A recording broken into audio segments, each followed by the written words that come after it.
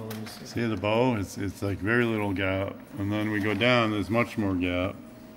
Okay, we, we move the, the magnetic limiters up much higher, both top and bottom.